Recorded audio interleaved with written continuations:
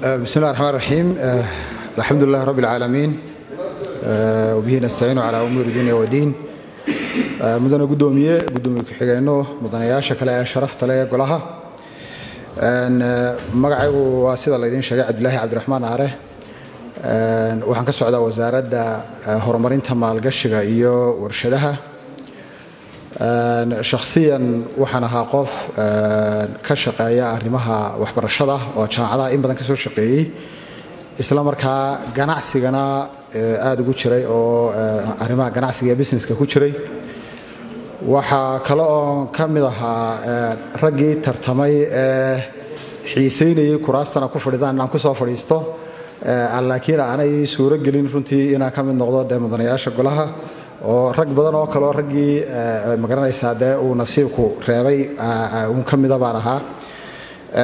Laakiin waxaan de kolley shaki ku jirin rag badan oo halkan ka midii inay dee codkaygii iyo ay tirsanayaanoo ay ku fadhiyaan golaha. Ay golaha ku fadhiyaan aad iyo aad baad u mahadsantihiin. Runtii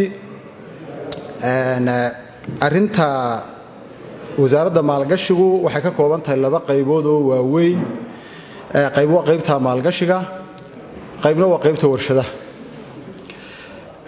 Wasaaraddu waxay ka mid tahay wasaaradaha waaweyn ee iyaguna saamaynta ku leh arrimaha xagga kobcinta iyo horumarinta dhaqaalaha. Qaybta maalgashiga waxaa xoogga aan saaraynaa runtii oo arrimaha noo qorshaysan ka mid ah in aan raadinno oo aan baadi goobno maalgashi kaas oo ka imanaya dalka gudihiisa dadka ganacsatada ahee muwaadiniinta ah inaan ku dhiirigelinno in ay maalgashadaan waddanka khayraadka uu leeyahay maalgashadaan. Ilaa immika inta aan ogsoonahay ama inta sida ay macnaha qaabka uu u socdo ganacsiga iyo dadka ganacsatada u dhaqmaan way ku adag tahay in ay wajahaan runtii in ay maalgashi sameeyaan oo khayraadka dalka maalgashi ku sameeyaan. Waxayna ka door bidaan arrimo xagga ganacsiga ohoo laga yaabo in uu lacagtiisa iyo baybaagiisuba uu degdeg yahay oo uu ka dhaqsa badan yahay bay ka door bidaan.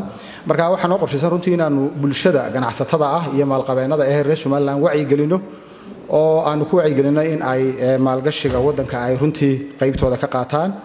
Waxaa kaloo noo qorshaysan inaan isu dubaridno qurba joogta waddanka oo iyaguna ah lafdhabar run ahaantii wax badan oo arrimaha ma garanaysaa bulshada iyo faamiliyadana lafdhabar adag u ah inay iyaguna ka qayb qaataan arrimaha bulshada inay ka qayb qaataan arrimaha maalgashiga ee waddanka. Waxaan qorshaha noogu jira inkastoo kolley caqabadaha ku gadaaman arrimaha dibadda oo dhan ay ku gadaaman yihiin laakiin waxaa qorshaha noogu jira inaan helno waxa la idhahdo foreign direct investment ama f d i oo ah in magaranaysa dadka ajaanibka ah ay waddanka maalgashi ku sameeyaan. Wasaaradda waxaa u qorshaysan isla markaa ay samaysay in ay kala horreysiiso oo ay samayso waxa la dhahdo sector priorities ama sektarada mudnaanta leh ee maalgashiga aan rabno in lagu sameeyo oo ay ka mid yihiin kaabayaasha dhaqaalaha ay ka mid tahay xoolaha oo ay ka mid yihiin beeraha ay ka mid tahay macdanta ay ka mid tahay kalluunka iyo warshadaynta dhammaan.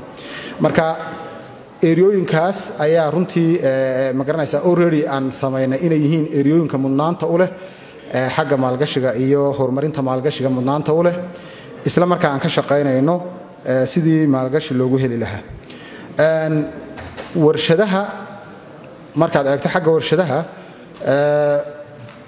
warshaduhu wax soo saarka waddanka imika waxay kaga jiraan boqolkiiba laba g d b-ga waxaa loo boqolkiiba laba bay contribution ku sameeyeen miisaaniyadda imika la sameeyey ee aad haysaan ayay kaga jiraan. Laakiin marka dee la eego duruufaha iyo xaaladaha ku gadaaman oo dib u dhigaya waa kii hadda wasiirkii macdanta iyo tamartu halkan ka hadlayey caqabada ugu waaweyn ee warshadaynta waddanka haysta waxa ka mid ah tamarta. Marka in runtii tamar la raadiyo dee jaban warshad kasta oo la rabo in ma garanaysaa la yagleelo waxay u baahan tahay tamar ay ku shaqayso dhulka ka mid a arrimahaasaa u baahan kulley in aan annagana focuska yaga ah oo inaan ka shaqayno sidii xal iyo xulul loogu heli lahaa si warshadaynta waddanku ay ma garanaysaa kor u kacdo. Muddo dhow oo laba sano ku siman waxaan qiyaasaynaa inaan kor u qaadno iminka figarka boqolkiiba labada ah oo ilaa inaan gaadhsiino haddii ilaha idhaahdo haddii aan ka sii badin karnana way fiican tahay. Wasaaradda runtii waxaa noo qorshaysan in aan ummadda iyo dunida danaynaysa inay somalilan maalgashato waxna la yeelato inaan xogta wadanka taale ee khayraadka ah gaadhsiino haddii ilaha idhaahdo waxaan dhisaynaa portal la ydhaha somaliland investment portal oo lagu iibgeyn doono haddii ilaha idhaahdo khayraadka dabiiciga ee wadanku uu leeyahay lagu iibgeyn doono. Waxaa kale oo aan samayn doonaa qorshaha ku jira bandhigyo wadanka gudihiisa ah iyo dibaddiisaba. Haddii rabbi idmo iyo shirarka caalamiga ee maalgashiga ah inaanu qayb ka noqonno si aan khayraadka waddankeenna haddii ilaha idhaahdo aan ma garanaysaa dadka dadka ula wadaagno. Waxaan soo ururin doonaan ku soo xidhayaa kulley runtii.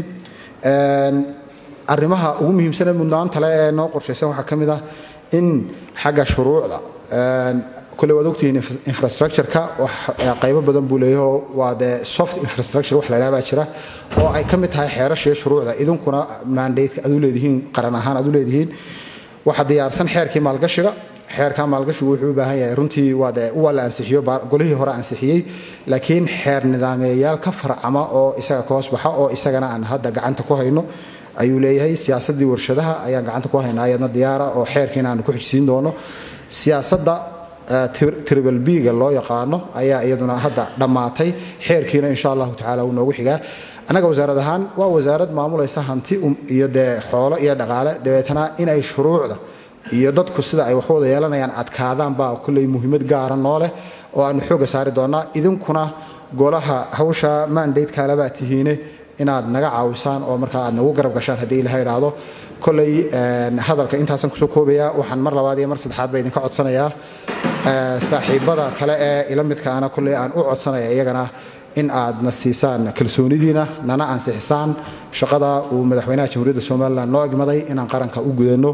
Aad iyo aadna waad salaamantihiin. Asalaamu calaykum waraxmatullahi barakaatu